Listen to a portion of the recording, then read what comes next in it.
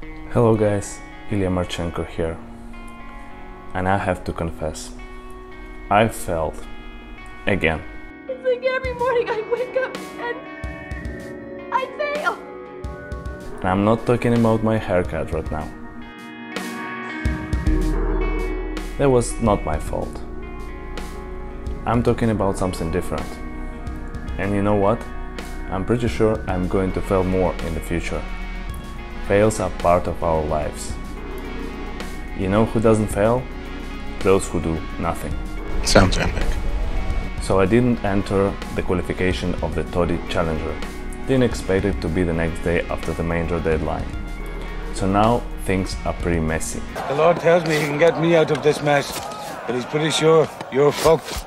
I'm forced out of main draw in Todi, which is I would say a big chance to get in, and 8 out of main draw in Prague, which is still possible, but less chances than Todi. And as we are all starving to get back to the tournaments, I want to play this week anyway, even if it's just a qualification event. With Prague I still have this option, because you didn't have to enter it online in advance. On-sign sign-in should be enough. But you know what is the main problem? I have a feeling that I drive 3 hours to Prague on Thursday to get that COVID test. Then I get into Todi on Friday and I will have to drive 13 hours to Italy because there is no other option of flying there in today's world. It's pretty messy up there this year. This script was written earlier. At the end, my shoulder didn't let me play any tournaments that week. Getting old. But this story has pushed me to tell you more about my organizational fails during these years on tour. And here are my top ones. This happened in my first ITF in Rhymney. I was 15 and I was there alone, so no coach or parents. I'd lost the second round of qualification and while crying in the locker room, Stop crying, you sniveling ass! Someone told me that there was one lucky loser spot. And a couple moments later, I was participating in my first ever lucky loser toss. I'm not 100% sure, but I think it was 1 from 4. And to my big surprise, that second chance was mine. Surprise. Can you imagine that? First main draw of an ITF tournament ever. It was pretty late and the schedule was not ready. Supervisor said that nobody from qualification would play the next day. Next morning I got a call from a coach I know who was at the tournament as well. And his words were, Where the hell are you? Why are you not on site? I haven't checked the schedule and the supervisor put me the first match. Later on, he explained that he meant only qualifiers, not lucky losers. Of course, I couldn't prove anything. This happened in Brest Challenger. I was coming back from injury. Yeah, the usual state of my career. So I was not in the main draw. But was not very far out either. I've even requested for a wildcard from organizers. The main issue was that I hadn't played a qualification in a challenger for almost 5 years. So I simply forgot to sign. When the draw came out without my name on it, the first reaction was I got in or had been given a wildcard. But then I realized It was at this moment that he knew. He fucked up. qualification was not full, with a lot of buys, but according to rules, the supervisor couldn't put me in. At the end, I was very lucky that Bublik has made a late withdrawal from the main draw, so Sakharov moved in to his place and I got in as alternate. And I have to mention, of course I've passed the qualis. An ATP qualification event in Halle. Well, this one is not 100% my fault, although it was my responsibility to check. Check the booking. While I was practicing in Donetsk, we had a position in our tennis club of a travel manager who was in charge of all tickets and hotel bookings for the players. But no one actually stayed in that job for too long. Maybe because the salary was not good enough, or maybe they were not smart enough. I don't know. So the new girl was trying to make a good impression on our boss and had found a very cheap route. Of course, complicated as hell, but cheap. The keyword is it's cheap.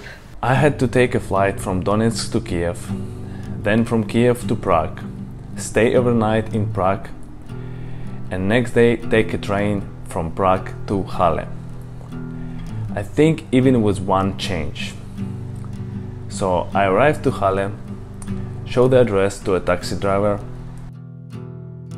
who of course couldn't speak any English. And he takes me to the address, and to my big surprise, we arrived not to a big tennis stadium, Gerry Weber, but to some random house. After complaining with the taxi driver for a while, I understood that I'm in Halle Saale. But the tournament together with that Gerry Weber Stadium, are in Halle Westfalen, on the other side of Germany. And because of that, I arrived to Halle Westfalen 30 minutes late for the qualification signing. So the next day, I was on my way back home. Since then, I mostly do all my reservations myself, you know, because I'm smart enough. Or at least double checking everything. Well, that happened many times to me. Practices, matches. You put them out of your tennis bag to dry and then forget to put back. I think every tennis player has done that at least once. Please, tell me that you have. Please, please, please! But this particular one I remember till now. And here's why.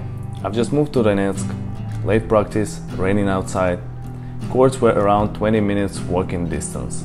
So I had come to our training facility and found out that I have a shoe in my bag. But only one. I ran full speed back to the apartment. And you know what? The shoe was not there. I couldn't find it. I was looking everywhere. Where are you? Thank God I had another pair and I almost made it to practice on time. Almost. But that's not the end of it. I couldn't find that shoe anywhere that evening. But next morning I found it on the street. It was just laying there, not far from my place. Don't ask, I have no idea.